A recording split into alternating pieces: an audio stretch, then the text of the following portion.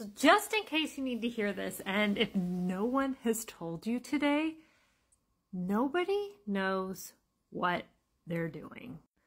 No one else knows what they're doing either, I promise you.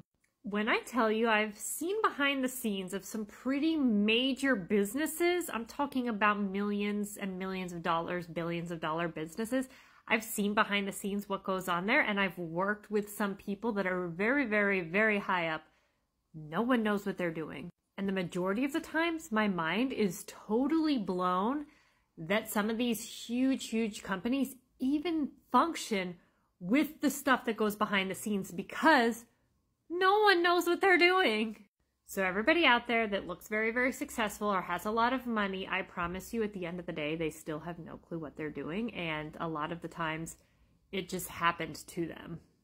Stop with your imposter syndrome. Stop saying that you were not smart and stop saying that, like, you're the only one on the planet who doesn't know what they're doing because I promise you, it's everyone. You're not alone.